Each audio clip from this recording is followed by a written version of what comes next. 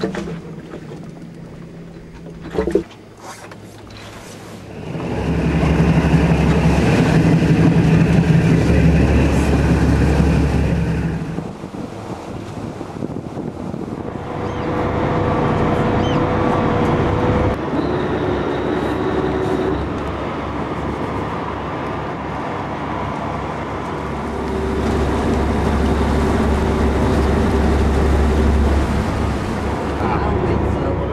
liggen nu in de haven. De reddingsboot heeft ons keurig afgeleverd.